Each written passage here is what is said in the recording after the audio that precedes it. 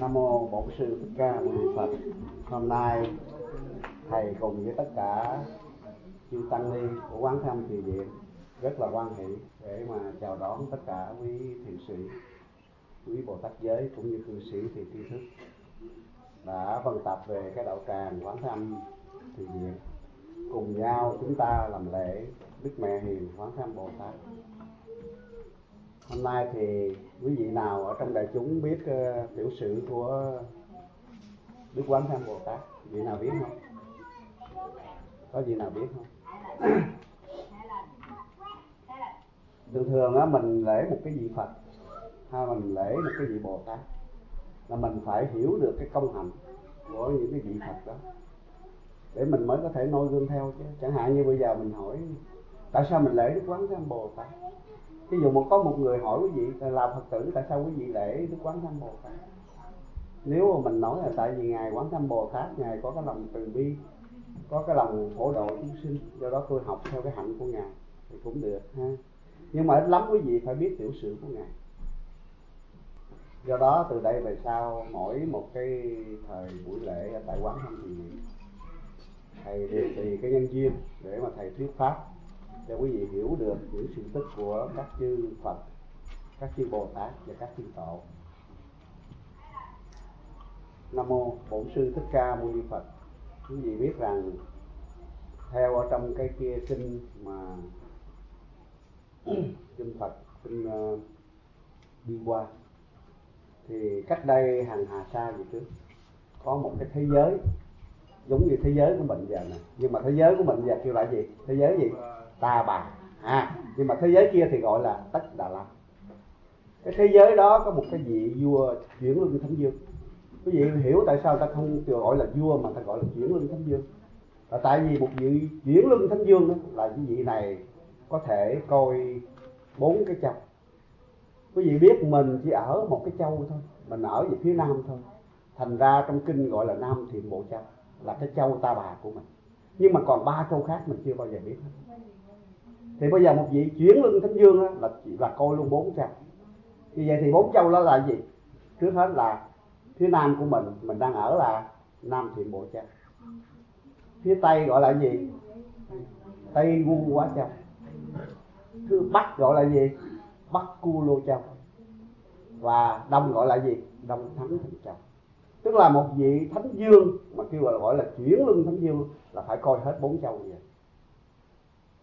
a di đà Phật. Bây giờ quý vị thấy những cái vị làm tổng thống bây giờ chỉ coi có nước hả? Nhưng mà một vị chuyển luân thánh dương là coi bốn châu mà một vị chuyển luân thánh dương mà ra đời đó là nó có nhiều phước báo. Chứ không phải giống như là một cái vị vua bây giờ. Hoàng hậu là phải có một ngàn vị. Thái tử cũng phải một ngàn vị. Rồi có voi báo, có ngựa báo, có mỹ nhân báo. rồi có những cái cái vật báo để mà mà những cái vật đó giúp cho chỉ vị chuyển luân thứ dụng này bay trên hư không để mà control, để mà cai trị bốn châu này. Bốn châu này nếu mà thật sự ra mình không bao giờ mình tới được hết. Bởi vì bốn châu này nó khác hẳn với cái quả địa cầu của mình. Cái quả địa cầu của mình nó giống như một cái núi, tôi thấy như cái núi tu di lớn này nè, nó lên cao vậy nè, rồi bốn cái bề mặt của nó đều là bốn châu mình là nam thiện bộ châu thành ra cái người nam thiện bộ châu sẽ không bao giờ thấy được cái người ở bắc lưu cô châu hoặc là không thể nào mà thấy được tây ngu quá châu hoặc là đông thắng thành châu. Mình không bao giờ thấy được. Ngoại trừ mình lên tuốt trên đỉnh núi của tu di mình dòm xuống mới thấy cái châu này. Như vậy thì làm sao mình thấy được bốn châu này? Chỉ có ông trời để thích thôi. Tại vì cái trời đau lợi thiên cung nó nằm ở trên cái đỉnh núi tu di. Thành ra chỉ có chư thiên ở cõi trời đau lợi thiên cung mới thấy được ngoại trừ trời tứ thiên dương cũng thấy, tại vì trời tứ thiên dương chỉ nằm trên phân nửa của núi tu di thôi. Còn mình nằm ở 3 phần tư của núi, mình nằm ở 2 phần ba của núi tu di. Có nghĩa là mà mình rồi mới tới cái loài súc sinh xuống tới địa ngục. Địa ngục là dưới tận cùng. Cái núi tu di đó là một cái núi chúa mà nó chỉ nó chỉ là, nó chỉ nương vào đó mà cái cõi ta bà mình sống nè. Cái cõi trời tứ thiên dương này cái cõi trời đau lợi. Trên cõi trời đau lợi là cõi trời dạ ma nó nằm ở trên hư không nó không có nằm ở trên núi tu di này. Bữa nay thầy giảng để cho quý vị hiểu. Thành ra nhiều khi quý vị đi đến chùa mà nhiều khi quý vị không hiểu. Vô cắm cây nhang rồi quý vị lại ra đi. Về uổng lắm. Một cuộc đời mình mình phải cần phải hiểu được những cái kinh pháp để chi vậy? Để mình tăng tiến cái cái tâm lực của mình, để cho cái trí huệ của mình nó phát triển, để mình giải thoát. Thật sự ra mình giải thoát cái gì? Ở đây mình giải thoát cái gì? Giải thoát tứ khổ. Tứ khổ là gì? Sanh lão bệnh tử. Quý vị có thấy những ai mà thoát khỏi không? Ai cũng không có thoát khỏi. Chính vì vậy mà đức phật ra đời để mà cứu độ chúng sinh thoát khỏi được cái tứ lão bệnh bệnh sanh lão bệnh tử. Vậy thì muốn thoát khỏi cái sanh lão bệnh tử thì phải làm sao? Thì chỉ có tu mà. Có sự giải thoát thì nó không có sự tái sanh. Không có sự tái sanh, tất nhiên không có sự trở lại. Không có sự trở lại là không có tứ khổ. Phải không? Đó là thầy giảng về cái bốn châu bây giờ thầy tiếp tục về cái tiểu sử quán thế âm thì trong cái cõi nước của vị chuyển luân thánh dương này, vị này có một cái tên mà quý vị chắc ai cũng có thể nghe và biết, đó là vô tránh niệm. Vô tránh niệm, vị chuyển luân thánh dương vô tránh niệm. Vị này có rất nhiều người con, và cái người con mà trưởng tử đó, trưởng nam đó, gọi là bất quyến, thái tử thái tử bất quyến thì bây giờ trong cái nước tất đà lan có một vị đại thần tên là bảo hải. Và con trai của vị đại thần này tên là bảo tạng con trai của vị đại thần này thấy rằng khỏi đời vốn là vô thường, nhìn lại tất cả mọi chúng sinh đều bị cái sanh lão bệnh tử chi phối. Do đó ngài mới phát tâm, ngài xuất gia. Và ngài phát tâm, ngài xuất gia như vậy thì ngài thành đạo giống như đức bổn sư thích ca mâu ni của mình vậy ngài thành đạo lấy cái phật hiệu là bảo tạng như lai. Khi mà đức bảo tạng như lai, ngài đã thành tựu đạo quả vô thượng chánh đẳng chánh giác, tức là cái quả phật quả. Thì bây giờ vua vô tánh vậy mới khuyên mấy người con, nói rằng, này các con, đức phật ra đời rất là khó. Giống như là một cái cành hoa vô u, một nhà ba ngàn năm mới mình nở một lần. Do đó một, khi mà đức phật ra đời là một cái điều rất khó vì vậy mà cụ dương khuyên tất cả những vị dương tử, hãy tùy theo sức mình sắm sửa vật, thực, đồ ăn uống để cúng dường lên cho đức phật. Thì bây giờ thế tử bất quyến ngài mới nghe theo lời cụ dương. Ngài mới lấy tất cả những tiền bạc, tư trang của mình. Ngài mua những thực vật và làm những cái đồ rất là ngon dân cúng lên cho đức phật bảo tàng cùng với các chư tăng thời bấy giờ và ngày dân cúng không phải là một ngày, mà ngày dân cúng ba tháng. Khi mà ngày dân cúng xong ba tháng thì ông quan đại thần bảo hải mới khuyên với ngài rằng này điện hạ, cái phước báo này nó rất là vô lượng. Điện hạ đừng bao giờ hồi hướng phước báo này nó về cõi trời. Bởi vì tất cả quý vị đều biết rằng cái cõi trời mặc dầu quý vị sanh vào đó từ ăn, từ uống, từ ngủ nghỉ, từ lầu đài, chỗ ở của mình. Quý vị đều không lo tại vì đó, ở cõi trời do phước báo quý vị tu ở nhân gian này mà nó thành tựu. Do đó những người ở cõi trời họ sướng họ không làm cũng có mà họ không cần làm cái gì hết, họ cũng có chỗ để mà ở. Chứ không phải giống như chúng ta bây giờ. Chúng ta bây giờ phải thức khuya, dậy sớm, đi làm mới có tiền. Nhưng mà cõi trời nhờ quý vị ở đây biết tu, nhờ biết tu thập thiện, do đó quý vị mới sanh lên cõi trời và sanh lên đó rồi, quý vị được tất cả những phước báo. Những người nào phước đức cao thì ở những lầu đài trên hư không. Những người nào mà phước đức thấp thì ở những cái nhà ở tại đây, tại trong trong trong trong đất. Đó là như vậy. Còn tiền bạc quý vị cũng vậy. Do quý vị tu ở đây, phước đức của quý vị nó tùy mà nó nó hiện hình. Quý vị tu ở đây, cái phước quý vị càng nhiều thì lên trên đó, tất cả những vật sở hữu, những vật dụng, những tiền bạc nó đều đầy đủ hết do đó những người mà khi mà họ lên cõi trời rồi đó, họ không biết Phật pháp. Tại vì quá vui.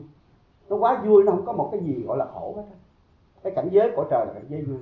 Do đó lên đó chỉ biết vui mà mình không biết làm cái gì để mà mình tạo theo phước đức hết thành ra những người cõi trời sau khi họ hưởng hết cái phước ở trên cõi trời, họ trở lại thế gian này, họ sanh vào những gia đình bằng cùng. Tại vì họ hết phước rồi.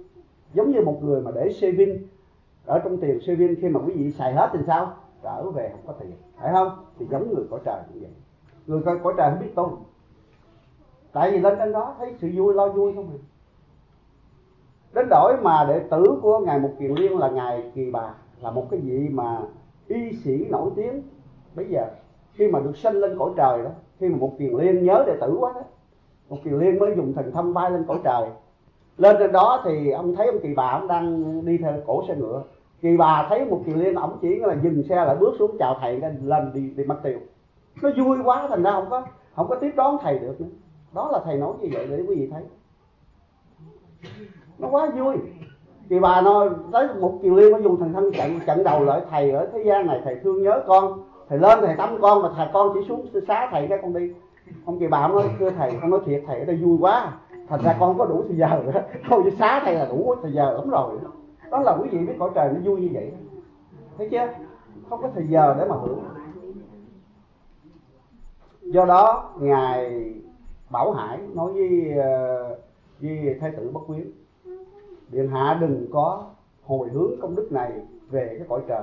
Bởi vì về trên cõi đó rồi, điện hạ cũng lại bị tái sanh sanh vào loài người, mà sanh vào ở trong cái cõi lại khổ nữa. Do vào những gia đình nó bằng cùng nghèo khổ. Chẳng bằng điện hạ đem cái công đức cúng dường này trong 3 tháng này hồi hướng về quả vô thượng chánh đẳng chánh giác vô thượng chánh đẳng chánh giác là quả như lai đó, là quả thành phật đó. Thì bây giờ thái tử bất quyến mới nghe lời đại thành bảo hải, đến trước mặt đức phật và chư tăng, ngài lãnh lễ đức phật và phát cái lời thệ nguyện. Kính bạch đức thế tôn, xin ngài từ bi chứng minh cho con những cái vật thực mà con đã cúng dường lên cho đức phật cùng các chư tăng, con xin nguyện được hồi hướng về quả vô thượng chánh đẳng chánh giác. Và trong khi con làm cái hạnh bồ tát hạnh, nếu có những chúng sinh nào ở thế gian này mà chịu những sự quan khiên, chịu những sự khổ đau, chịu những cái sự mà ấm ức mà không có người nào để mà giúp đỡ mà hễ chúng sinh đó nghe đến danh hiệu của con, niệm danh hiệu của con. Thì bây giờ lập tức con sẽ dùng thiên nhĩ và thiên nhãn. Thiên nhĩ để nghe, thiên nhãn để thấy. Con sẽ hiện thân trước người đó và cứu độ cho người đó. Đây là cái lời thệ nguyện của đức quán thế thành ra quý vị thấy khi mà quý vị khổ nạn, quý vị cầu những vị bồ tát khác, không có linh nghiệp mà quý vị chỉ cầu, nam mô đại từ đại bi, cứu khổ, cứu nạn, linh cảm quán thế bồ tát, xin cứu nguyện cho con quý vị lập tức. Quý vị gặp ngài. Bất cứ quý vị gặp một cái gì tai nạn, quý vị chỉ cần chắp tay lại để trước trán mình niệm cái danh hiệu như như là thầy vừa vừa mới vừa trình bày đó là tất cả những cái quán cù đều tiêu tan. Tại vì ngài sẽ đến để cứu quý vị. Nếu mà quý vị cặp mắt được thanh tịnh thì quý vị sẽ thấy ngài. Cặp mắt chưa được thanh tịnh, ngài sẽ đến đứng bên quý vị, nhưng mà ngài vẫn che chở quý vị do đó cái lời thệ nguyện của ngài trước đức phật uh, bảo tạng. Và ngài bảo tạng nói rằng ta thọ ký cho con. Bởi vì cái tấm lòng của con là tấm lòng từ bi phổ độ chúng sinh. Do đó ta đặt cái pháp hiệu của con là quán thế âm.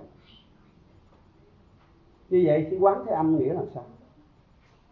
Quán là quan sát là là là quán sát mọi việc. Thế là gì? Thế là thế gian. Phải không? Thế là thế gian âm là âm thanh có nghĩa là quán sát thế gian âm thanh của những người đau khổ mà cứu nạn. Đó là quán thế âm. Và đức phật uh, bảo tạng quyền ký tiếp. Từ bây giờ con hành đạo của bồ tát khi phụ dương của con là vua vô chánh niệm. Khi ngài đến cõi nước cực lạc là cõi nước cực lạc bây giờ đó. Khi mà ngài thành đức a di đà phật thì bây giờ con làm một vị bổ sứ bồ tát để mà hầu cận vua cha, mà cũng là hầu cận đức phật a di đà để mà đưa tay vàng nhàn sắc trang nghiêm, tiếp độ chúng sinh ở mười phương trở về thế giới cực lạc. Ở trên cõi thế giới cực lạc người ta gọi là tam thánh cực lạc quốc. Vậy là tam thánh là ai? Đứng chính giữa là đức a di đà thế tôn. Đứng ở bên tả là đức quán thế âm bồ tát, đứng bên hữu là đức đại thế chí bồ tát nhưng mà đại thế chí hay là quan thế âm đều là con trai của đức a di đà đó là tiền thân của vua vô chánh điện, mà có thái tử bất quyến và có một vị dương tử là đức ờ, là đại đại thế chí của ta và khi mà cái thế giới của cực lạc quốc nó không còn nữa, quý vị biết tại sao thế giới cực lạc nó không còn nữa không? Quý vị, ai cũng muốn nguyện sinh về cực lạc quốc, phải không? Ở đây quý vị thường thường thấy người chết thường nói à, con nguyện giảng sinh về cực lạc quốc nhưng mà đến một cái thời gian á, cực lạc quốc không còn được. Là tại vì đức a di đà nhập diệt.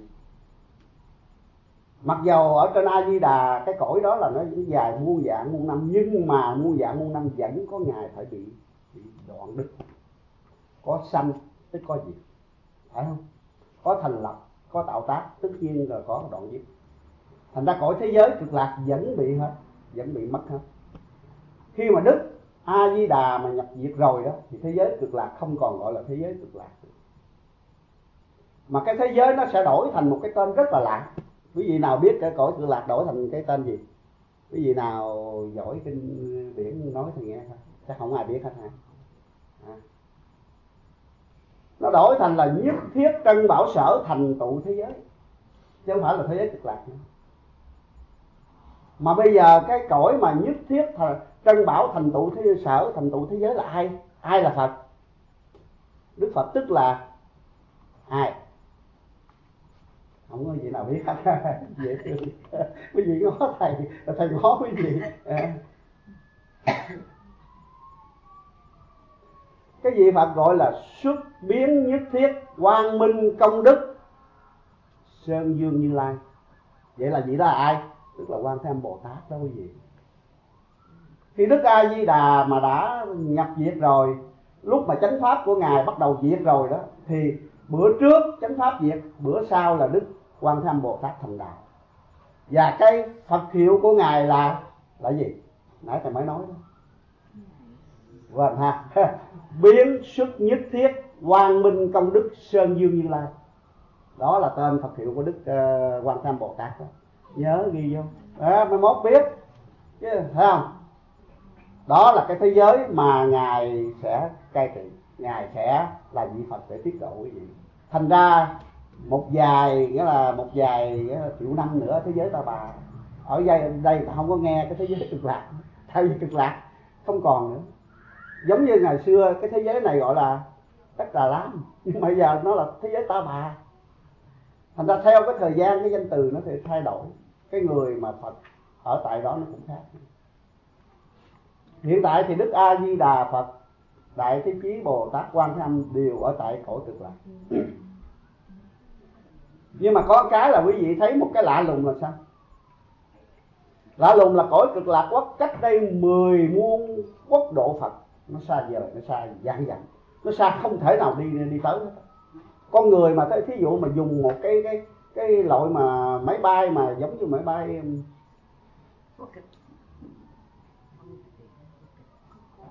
máy bay mà giống như là mình à, thẳng lực bây giờ mà quý vị muốn đi về cực lạc quốc thầy nói thiệt quý vị đi ngàn kiếp chưa tới, nó ra nó xa dạng dạng dạng, không thể nào tới. Nó nằm về hướng tây nhưng mà quý vị không đi tới đó. Bởi vì sao? Là bởi vì vật chất đi không tới đó được vật chất đều tan hoại hết. Chỉ có cái chân linh của chúng sinh đi được. Nhất là những chân linh mà tu về tịnh độ. Những bậc a la hán đi vô nổi. Bậc a la hán thần thông quảng đại đó mà tới chừng mà đi về cực lạc đi không được. Một kiền liên khi mà nghe đức phật giảng về cái cõi cực lạc quốc muốn tìm đến cõi lực cực lạc quốc xem cái cõi đó như thế nào ổng đi sao mà đi lộn vô cái, cái chỗ chỗ phật khác. Tại vì cõi cực lạc quá xa. Quý vị không đi được nhưng mà nhờ quý vị có tâm niệm nhờ quý vị có cái sự tu học nhờ quý vị có lòng nhớ tưởng đến cực lạc do đó khi quý vị lâm chung thần thức quý vị nó có một năng lực và theo cái sự hỗ trợ hỗ trì của đức phật a di đà quý vị mới đi tới đó. Có nhiều người tu nhất là họ tu về cái hạnh phổ cái hạnh mà uh, tịnh độ. Nhưng mà, mà họ nghe ông mấy vị thầy nói rằng tu về tịnh độ về cực lạc rất là vui đẹp nhưng mà họ còn nghi, họ không biết có hay không. Thường thường có những người họ nghi chứ, họ có quyền nghi. Khi mình nói thế giới nó đẹp quá, cái họ nghi, họ nói không biết cái thế giới đó có hay không. Nhưng mà thôi kệ, mình nghi nghi ha, nhưng mình cũng tu thử thôi. Ha chưa là tu thử đó, nha.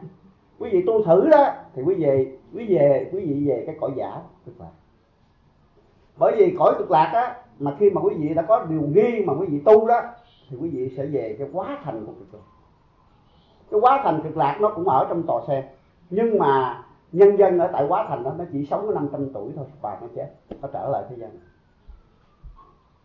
Như vậy quý vị tu đừng tu thử, nha. Mai mốt quý vị nào tu tu thiệt cho thầy. Quý vị tu thử kẹt lắm, vô những cái thế giới kỳ cục lắm, nha. Tu phải tu thiệt, phát tâm tu là phải tu thiệt, không bao giờ nói tu thử nữa. Cái cõi cực lạc nó nó ngộ lắm, nó nó là mênh mông, bất tận, nó lớn, rộng lớn vô cùng một tòa sen mà của bồ tát ngồi nó rộng bằng một cái nước miếng điện á. Một cái tòa sen bằng nước miếng điện á. Thì quý vị biết thế giới nó lớn bằng bao nhiêu? Hả? Tại vì quý vị bây giờ á, nhiều khi mình ở tại thế gian này đó, mình bị nhiều cái phiền não, mình bị nhiều cái cái cơm áo, nó nó làm cho mình bị quẩn trí tâm mình chưa thanh tịnh chứ nếu mà tâm thanh tịnh, quý vị giờ về hướng tây quý vị thấy cái tướng của đức a di đà vàng chói đứng nằm giữa hư không. Tại vì ngài rất là lớn. Ngài rất là lớn. Cái thân của ngài to lớn vô cùng. Nhưng mà tại vì chúng sinh nhiều phiền não quá, thành ra cái tâm thanh tịnh này nó không có không có mở thành ra. Không thấy do đó có những người mà họ tu về tịnh độ, họ tu một thời gian, họ thanh tịnh lúc mà họ lễ bái về phương tây, tự nhiên tâm họ mở quá, họ nhìn thấy nguyên cảnh giới của của thế giới cực lạc đó. Họ thấy luôn đức a di đà đang thuyết pháp rồi bởi vậy cái người tu, cái tâm mình phải luôn luôn là là tĩnh lặng, thì mình mới thấy được dạng vật. Còn bằng không thôi. Ngày hôm nay sở dĩ mà quý vị đến để cùng thầy, cùng các chư tăng, cũng như chư ni, để mà mình đem lòng thành đảnh lễ đức quán thế âm. Và mình noi theo cái gương hạnh của ngài. Đức quán thế âm là một cái gì mà tu theo cái hạnh từ bi quảng đại cái sự mà từ bi cứu độ của ngài không có thể nào mà ai có thể qua hết. Thành qua, thành ra quý vị thấy sao? Một cái gì mà kêu là phá trời mà mà dọc nước long dương còn sợ là tài thiên đại thánh mà còn sợ ngài quan thế âm, phải không? Thấy không? Đúng không? Đấu chiến thắng phật mà còn gặp nghĩa là ờ, đức quan thế âm là còn phải chạy mà, ha? Phải quỳ xuống mà ờ, xin đệ tử mà. Tất nhiên là tại sao vậy? Mặc dù con khỉ nó rất là thần thông quảng đại, nhưng mà trước cái sự từ bi nó phải thua. Quý vị nên nhớ rằng quý vị tu hạnh từ bi, bất cứ người nào sân hận đến đến trước quý vị, người ta đều là đệ tử của quý vị hết. Bởi vì từ bi cảm hóa, cái gì? Cái sân hận si mê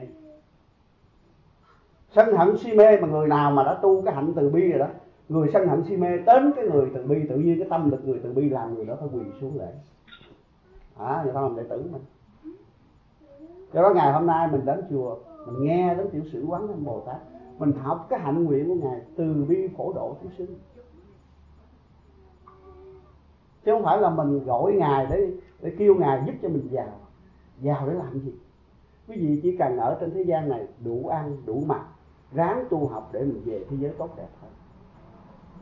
Quý vị giàu đó, thầy nói thiệt rồi quý vị sao? Ra đi cũng hai bàn tay trắng.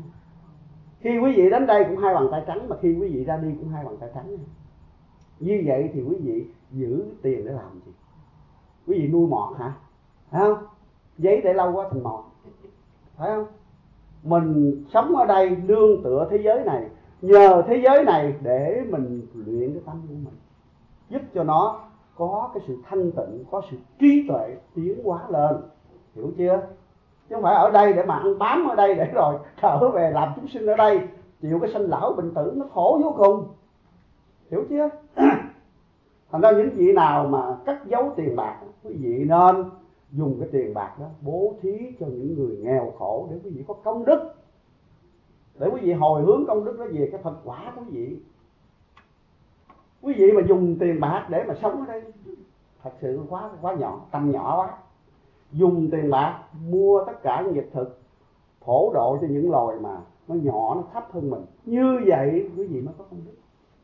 Bữa nay thầy dạy quý vị tập công đức, tập tu công đức. Thế là thấy quý vị thật sự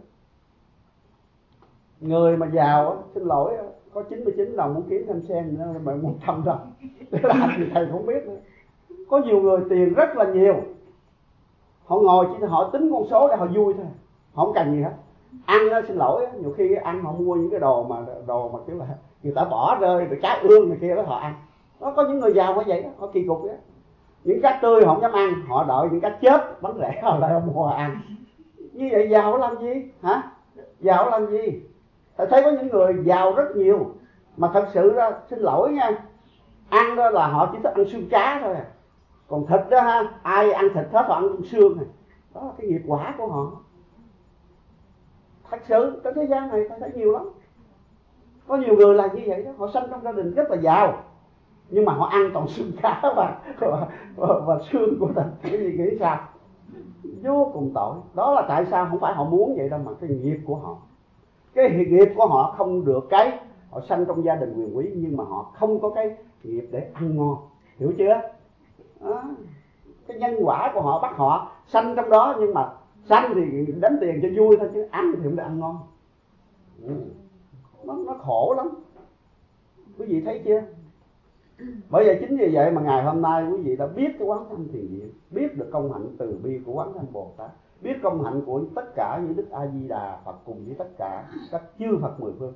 Quý vị phải phát tâm niệm. Tâm niệm gì? Phát bồ đề tâm tu học quý vị cái càng nói con hôm nay con đến quán thâm thiền viện con nghe đại sư thích trí tạng nói vậy. Con xin nguyện trong tâm con từ đây con phát lòng từ bi. À, những cái chúng sinh nào mà đau khổ con nguyện phổ độ chúng sinh. Nguyện những công đức nào mà con đã làm được cái sự làm con xin hồi hướng hết về cái quả vô thượng chánh đẳng giác trời ơi hay vô cùng. Thấy không? Hay vô cùng. Chứ quý vị sống đây là quý vị không chết à. Quý vị đã có đâu quý vị nào mà sống đời đời đâu bởi vậy thầy có làm cái bài thơ vô thường để thầy đọc cái đoạn cuối cho quý vị nghe. Vô thường trời phật để dành tặng người ham lợi hám danh cõi trần. Thấy không? Thế gian nè nghe nè thế gian à, đế dương đế dương mục tử quan đàn. Đế dương là vua phải không? Mục tử là những người mà nghèo khổ không? Quan đàn là những người mà phiêu lưu giang hồ phải không? Đế dương mục tử quan đàn rồi sao nữa? Cái câu chót nè chung cùng nắm đất ngang hàng như nhau. À thấy chưa? Vậy còn cái gì đó mà mơ, mơ ước nữa quý vị? Cái mơ ước của mình là làm sao? Ok bây giờ tôi sống đây. Tôi tu để tôi lên. Chứ không phải mơ ước ở đây. Quý vị mơ ước để tái sanh ở đây để chịu khổ à. Đó là cái sự ngu si của trí tuệ. Nếu mà thầy sống giống như quý vị thì thật sự ra uổng một đời này, bởi vì chính vì vậy thầy suy nghĩ, mình sống ở cõi đời này phải làm cái gì có lợi ích trước hết là giúp cho mình, sau đó giúp cho chúng sinh. Chứ đừng nói giúp cho chúng sinh không giúp mình, cái điều nó láo. Mình thương mình trước chứ không có ai thương mình hết kể cả vợ con chưa chắc thương mình nữa à nha. Mình thương mình trước, rồi mới thương tất cả chúng sinh. Mình có no đủ, mình mới có đủ mình giúp chúng sinh. Phải không? Quý vị đói quá làm sao quý vị giúp chúng sinh nói thầy nghe đi thành ra những người mà họ đói và nói, tôi giúp giúp cái gì? Nói cái miệng chứ không giúp gì được hết phải không? Mình phải no đủ giàu có mới giúp được chúng sinh. Mà muốn giàu có thì sao? Không, tự nhiên giàu có, đâu có cái giàu có được vậy. Phải thực hành phép bố thí. Cái phép bố thí nó mới đem lại sự giàu có cho chúng sinh ở cõi ta bà này. Quý vị có miếng ăn mà quý vị giữ bao boi là thì không bao giờ quý vị giàu hết á. Bây giờ tôi có 10 đồng thầy có 10 đồng. Thầy cầm 10 đồng đó, thầy mua một cái gì thật ngon, thầy ăn cái hết ra. Rồi, không ai nhớ gì nữa hết. Nhưng mà ngược lại, thầy đổi 10 đồng này ra, mỗi một cái một đồng thì mua muốn bánh thầy chia cho 10 người. Mai mốt thầy đổi, người ta cuốn lại không? Vậy người ta nhớ chứ. Người ta nhớ chứ, phải không? Ít lắm 10 đồng mình cứu được 10 người, còn hơn mình mua một món đồ ngon của mình mình ăn hết rồi, mai mốt mình khổ, mình đói, không ai cứu mình hết. Phải không? Thành ra cái hạnh bố thí từ một mà nó sanh ra muôn dạng có nhiều người họ sanh ra cõi đời, họ làm đủ hết mà sao? Nghèo vẫn nghèo. Tại sao vậy? Trong quá khứ chưa bao giờ từng bố thí. Sống như là kêu là tằn tiện sống mà giống như lầu ngạ quỷ làm sao mà giàu? Thành ra hôm nay đến đây quý vị học được gì? Từ bi này bố thí này thấy chưa? Quý vị đến chùa, quý vị phải học những hạnh đó. Chứ không phải đến chùa để cúng, để để đốt cái nhang. A di là phật phật à ngủ con nghe phật giúp cho con ờ, gia đình con giàu nha con cảm ơn phật lắm nghe không phải điều đó. Cái điều đó là cái điều quá tầm thường đối với thế gian này.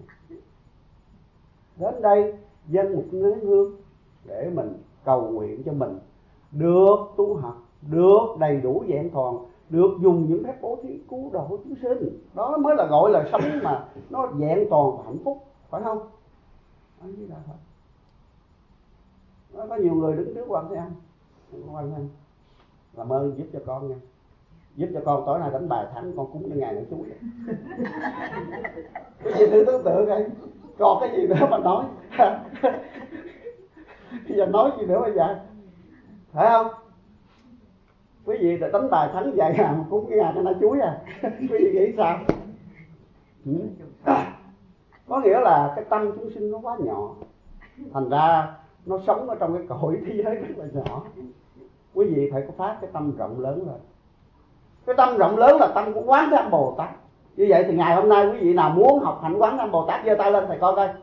Giơ tay lên thầy coi. A di đà phật. Thầy lễ quý vị đó.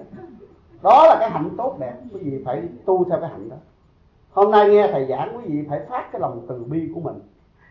Có tiền, những người nghèo quý vị bố thí. Mình bố thí người cũng nổi bố thí chim. Trời ơi, thiếu gì. Phải không? Phải không? Mình bố thí người cũng được bố thí chim. Mai mốt mà chim á, nhiều kiếp nữa nó lên nó làm làm làm để tử mình. Phải không?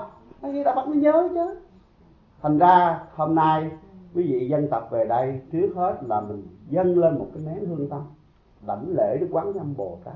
Tưởng nhớ đến công hạnh từ bi và đức độ khổ độ của ngài. Để chi? Mình học cái hạnh đó. Để mình đi trong cái thế giới này. Mình cứu mình và cứu muôn dạng chúng sinh. Phải không? Nam mô bổn sư thích ca mâu ni phật hôm nay thì thầy chỉ giảng đến đây.